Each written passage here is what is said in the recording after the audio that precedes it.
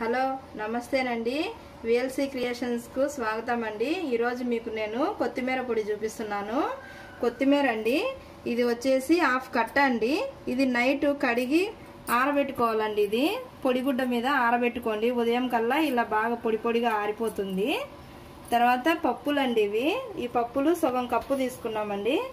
ఒక రెండు స్పూన్లు వచ్చేసి కొబ్బరి పొడి అండి ఇది. మనం తురిమి పెట్టుకుంటాం కదా ఇంట్లో. అది కొబ్బరి పొడి. తర్వాత పోపు దినుసులు అండి ఒట్టిమిరకాయ పోపు దినుసులు కరివేపాకు. ఒట్టిమిరకాయలు అండి ఒక ఆరు ఏడు ఒట్టిమిరకాయలు పడతాయండి. తెల్లగడ్డ సగం తెల్లగడ్డ పడుతుందండి. తగినంత ఉప్పు తగినంత నూనె ఒక చిన్న నిమ్మకాయ తీసుకున్నామండి. ఇది ఎంత పడుతుందో మళ్ళీ చూస్తామండి మనము. ఈ కొత్తిమీరను ఇప్పుడు మనము సన్నగా కత్తెరతో కట్ చేసుకుందామండి. ఇప్పుడు ఈ కొత్తిమీరనంతా కట్ చేసుకుందామండి మనము కత్తెరతో. ఇట్లా తీగలు తీగలు ఉంటుంది కదా మనం ఆరబెడతాము. దీన్ని వచ్చేసి ముదురుకాడలన్నీ తీసేసుకొని ఇలా నేత నేతవన్నీ మనము ఆరబెట్టుకోవాలండి. పొడిగుడ్డ మీద ఆరబెట్టుకోండి. నైట్ ఆరబెట్టుకోండి మీరు. ఉదయం కల్లా ఇది మీకు బాగా ఆరిపోతుంది. ఇలా అంతా కట్ చేసుకుందాం దీన్ని.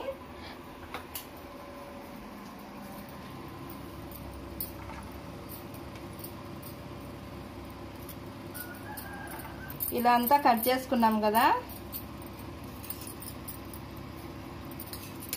ఇలా అంతా కట్ చేసుకున్నాం కదా.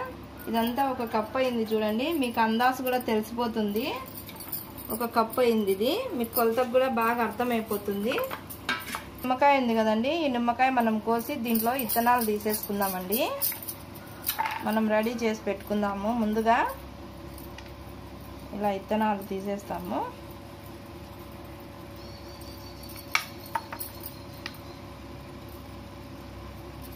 ఇలా రెడీ చేసి పెట్టుకున్నాం కదా ఇవి పక్కన పెట్టుకుందాం అండి. మనము ఈ కొబ్బరి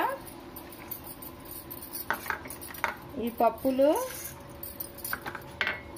ఈ ఒట్టిమిరకాయలు అండి ఒక ఆరేడు తీసుకున్నాం కదా ఒట్టిమిరకాయలు కారం తక్కువ తినేళ్ళు తక్కువ వేసుకోండి. కొంచెము స్పైసీగా ఉండేటోళ్ళు స్పైసీగా వేసుకోండి.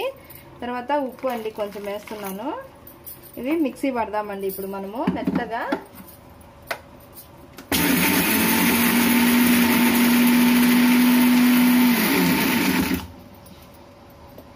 బాగా మెత్తగా కొట్టుకోండి ఇది.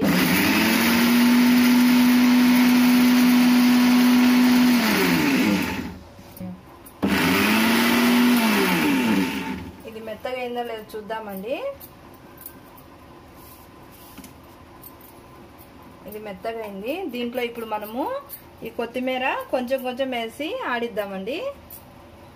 అంతా ఒకటే తురిగా వేయొద్దండి. అంతా ఒకటే తురిగా వేస్తే ఈ మిక్సీ కూడా తిరగదు. మీకు ముద్ద ముద్దగా వస్తుందండి ఇది. ఇలా మళ్ళీ ఇంకొంచెం వేస్తాము.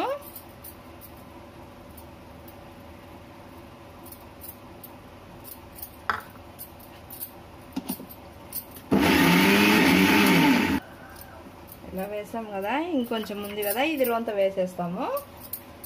ఇప్పుడు అయిపోయింది కదండి ఇది బాగా మెత్తగా ఆడిద్దాము.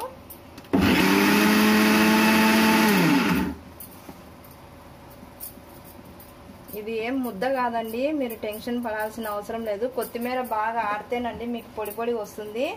కొంచెం కొత్తిమీర ఆరుకోకుండా ఉంటే మీకు ముద్ద అవుతుందండి.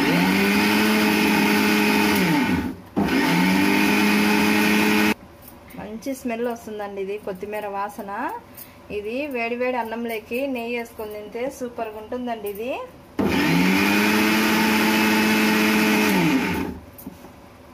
ఉప్మా లెగ్ కూడా వాడుకోవచ్చండి ఇది. ఉప్మా లెగ్ కూడా చాలా బాగుంటుంది. అలాగే దోశ వేసుకుంటాం కదండి మనము. ఎర్రకారము దోశ బొంబాయి చట్నీ వేసుకుంటాం కదండి. దాంట్లోకి కూడా మీరు పైన దోశ మీద చల్లుకుంటే చాలా బాగుంటుందండి. చూడండి ఇలా పొడి పొడి అయింది కదా. ఇప్పుడు మనము తెల్లగడ్డలు వేస్తామండి దీంట్లో. తెల్లగడ్డలు వేసి ఆడిద్దాము.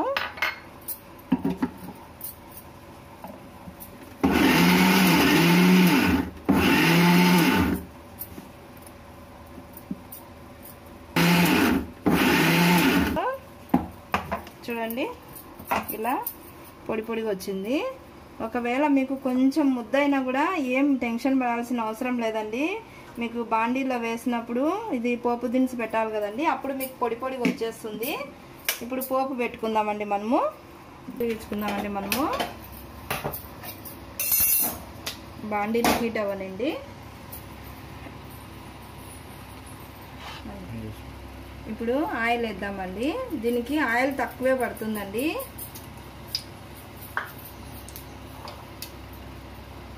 ఒక రెండు స్పూన్లు వేసింటానండి నూనె నేను మీకు.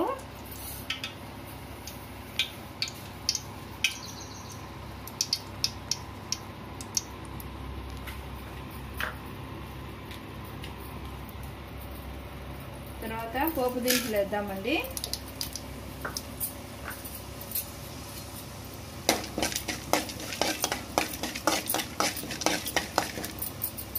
కరివేపాకు ఒట్టిమిరకాయ వేద్దామండి.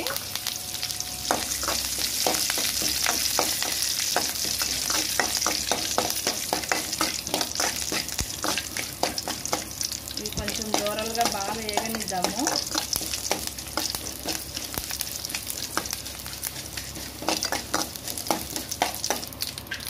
ఇప్పుడు మనము మంట తగ్గించుకొని ఈ పొడి అంతా దీంట్లో వేద్దామండి మనము. మంచి కలర్ ఉంది కదండి గ్రీన్ కలర్గా ఈ పొడి చాలా టేస్టీగా ఉంటుందండి. మీరు ఒకసారి చేసుకొని చూడండి. కొత్తిమీర మనము కూరలలో అన్నిటికీ వాడుతూ ఉంటాం కదండి. ఈ పొడి అనేది మనము అన్నంలో నెయ్యి వేసుకొని తినచ్చండి ఇది. చాలా టేస్టీగా ఉంటుంది. ఇప్పుడు నేను మీకు నిమ్మకాయ కోసి పక్కన పెట్టుకున్నా కదండి. ఇలా నిమ్మకాయ ఇలా రసం పిండుకోండి. మీకు ఒక నిమ్మకాయ పడుతుందండి ఇది రసం పిండుకోవడానికి. మంట తగ్గించి పెట్టుకొని నిమ్మకాయ పిండుకోండి.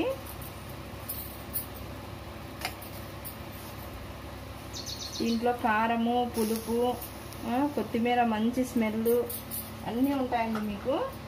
ఒక నిమ్మకాయ పడుతుందండి దీనికి. రసం ఎక్కువ లేదు కదా దీంట్లో. రసం ఎక్కువ ఉండేటైతే మీకు ఒకటి సగం ముప్పై పడుతుందండి మీకు.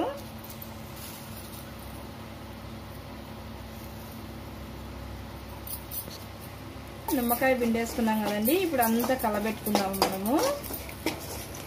ఇలా. ఇది నిమ్మకాయ పిండినా మీకేం ముద్ద కాదండి. సన్న మంట మీద ఏగించుకోండి ఇది. ఒక ఐదు నిమిషాలు పడుతుందండి ఇది ఏగించడానికి. మీరు పప్పల పొడి ముందు బాగా మెత్తగా ఆడించుకోండి. మెత్తగా ఆడించుకున్న తర్వాత ఈ కొత్తిమీర అంతా వేసి బాగా మెత్తగా ఆడించుకోండి. ఇది మీకు పదహైదు రోజుల దాకా మీకు నిల్వ ఉంటుందండి. ఏమి కాదు. బూజు కూడా రాదు మీకు. మీరు ఎప్పుడు కావడితే అప్పుడు వేసుకోవచ్చు.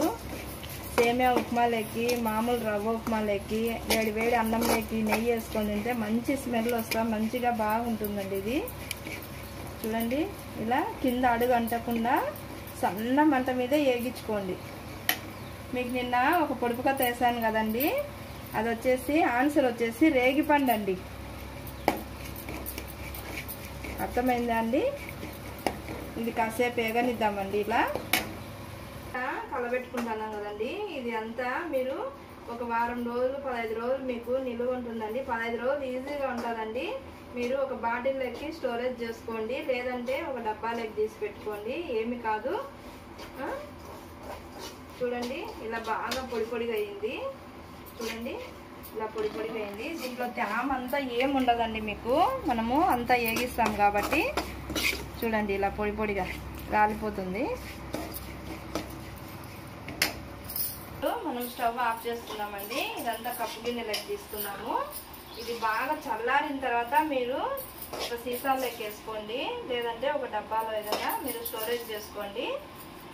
ఇలా సూపర్ టేస్ట్ ఉంటుందండి. ఇది వేగిస్తూ ఉంటేనే కమ్మగా మంచి వాసన వస్తుంది.